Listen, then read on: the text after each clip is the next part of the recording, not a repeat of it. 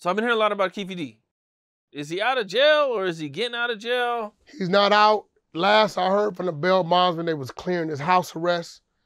All this time, I've left my money and the bond of my real estate in place. They went back for a second hearing.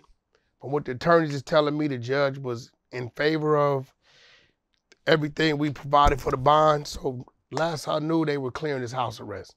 He's in Nevada, so it's a little different. Okay. There's been reports that he's given up Diddy. Um, the only report we can go off of is him in court, and why reason why that's hard to believe because his only court proceedings has been the bail proceedings. He's not due to start start trial, I think, until November or top of 2025. So where would he, Keefe D, give up Diddy?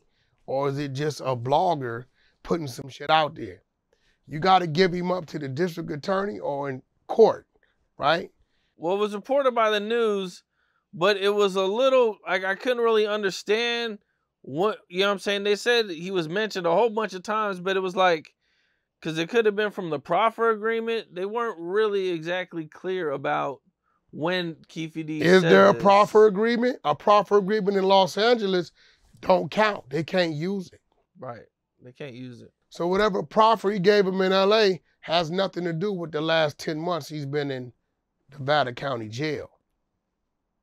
You know what I'm saying? Whatever he said, I don't even think the police officers that he proffered with could take the stand. I don't think so either. So, did he But proffer in LA? It, but it is tricky though. And the reason why it's tricky is because part of the proffer agreement is that him saying like if he lies, the proffer agreement isn't any good. So if he's over there saying he lied, it's kind of like, well, can they use it? Well, no, Can he's saying he use it? lied in podcasts. See, y'all, listen, one thing you got in front of you, you got a seasoned vet. I'm not a rapper. I'm not one of these mother Poindexter. I don't speak to you from YouTube. I speak to you from knowledge, right? He says he lied on YouTube, on Vlad TV, right?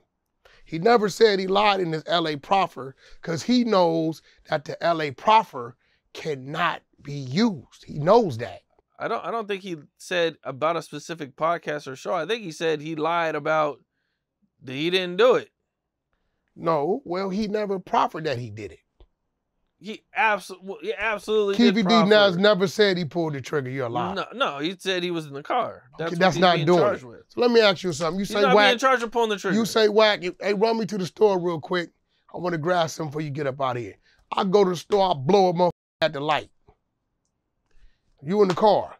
Did you do it? bro, but that's Did you want me to do it? That's not the same that situation. It is, you don't know the situation because you wasn't there. I know what he said in the pro in the in in the in the tape. The proffer Yeah. that can't be used. Don't matter what he said. Okay. They cannot use that. They can't use it. It's stipulated but in the that, proffer. I wasn't. Okay. Yeah, I don't. I kind of don't. But what did he really say? I want to hear what he said. What you tell me he said? What I'm saying is, if he's saying he's lying, or that that he, I don't think he never saying? said he lied in the proffer. He don't care what the proffer says because they can't use it. They cannot present that in that courtroom to that jury. Can't do it. But I believe I've been hearing him saying, I got paid, right? I got paid to do these things and say what I said. Now, he has been saying these things because they contacted Vlad to see if that was true. Vlad refused to return the phone call. Yeah, they contacted me. Yeah, refused to return the call. I lost my footage. My my hard drive broke. Yeah, So I don't have it.